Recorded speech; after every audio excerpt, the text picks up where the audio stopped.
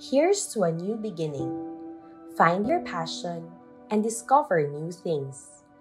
Learn to be grateful and find light in things that shine. Be inspired and have the courage to follow your dreams.